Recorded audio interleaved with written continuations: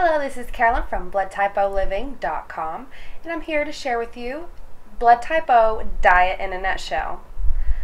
Now, Blood Type O's are supposed to have high protein, low carbohydrate diets. The best choice Blood Type O's can make is to try to eat the highly beneficial foods and the neutral foods listed in the Blood Type O book.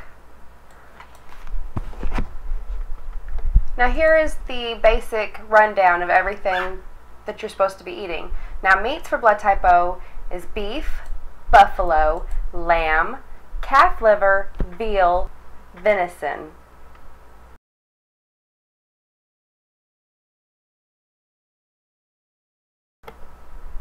Fish is bass, cod, halibut, perch, pike, rainbow trout, red snapper, shad, sole, sturgeon, swordfish, tilefish, yellowtail.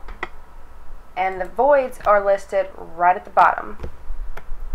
Now vegetables are, the highly beneficial are artichokes, beets, greens, broccoli, chicory, collard greens, horseradish, kale. There's a list. There, it goes on. There's more vegetables here. And the ones at the bottom are just a few that are a void that we're not supposed to be eating at all. And one of the biggest ones on here that I'll talk about a little bit is the corn. It just works really bad with our sugar and it's not good. It, it causes obesity and blood type O's.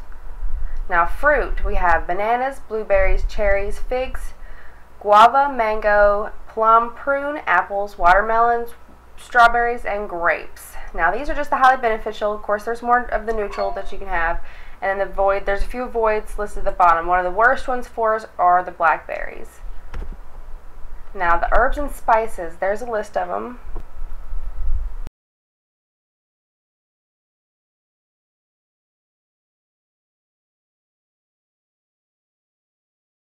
And here's the turmeric. Here's what it kind of looks like. That comes in a little shaker if you get it like that. That's how a lot of them can come if you want want them to be like that. And then there's if you avoid herbs and spices down at the bottom.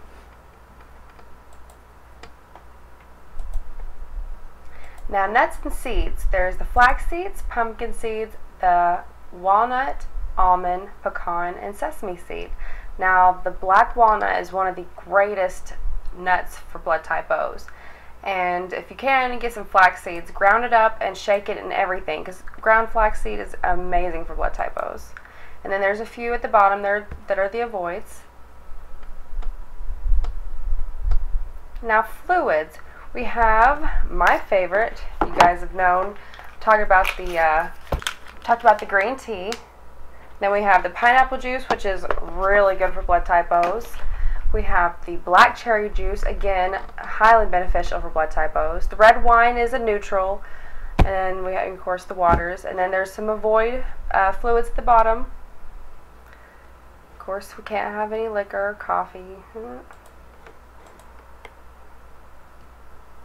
And that's bloodtypeoliving.com. You guys have a great day.